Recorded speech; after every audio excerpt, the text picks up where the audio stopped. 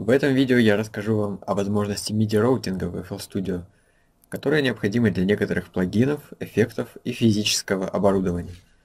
Многие сэмплеры, как например Native Instruments Contact, могут загружать множество инструментов одновременно. Мой контакт сейчас содержит 4 загруженных инструмента. Играя на MIDI клавиатуре, я управляю только первым из них. Если присмотреться к интерфейсу сэмплера контакт, мы увидим, что все эти инструменты назначены на разные MIDI каналы. Я могу, конечно, два инструмента отправить на первый канал, но это исключает возможность по отдельности управлять этими двумя инструментами. Чтобы решить проблему, добавляем channels add one MIDI out. MIDI out не производит никакого звука, он всего лишь направляет MIDI сообщение дальше по цепочке, когда вы играете ноту или крутите ручку. Переименую этот MIDI out в контакт 1 и в его настройках установлю порт в значение 5, а channel в 1. Это означает, что любые ноты, которые я сыграю в этот MIDI out, будут отправлены в MIDI порт 5, канал 1. Разумеется, теперь мне нужно что-то настроить на получение данных с пятого MIDI порта первого MIDI канала. Откроем настройки сэмплера контакт. Здесь можно указать MIDI порт. Установлю input порт на 5. Взгляните на интерфейс контакта. MIDI-каналы уже распределены с 1 по 4, так что ничего здесь не нужно менять.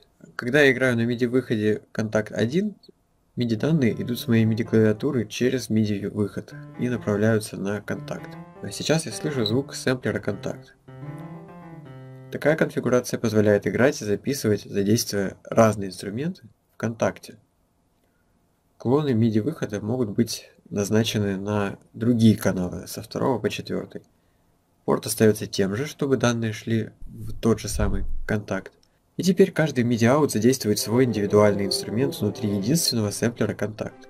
Не надо добавлять 4 контакта и перегружать процессор.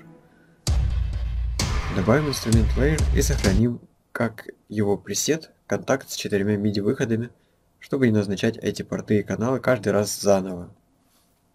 Давайте рассмотрим использование железного синтезатора в FL Studio.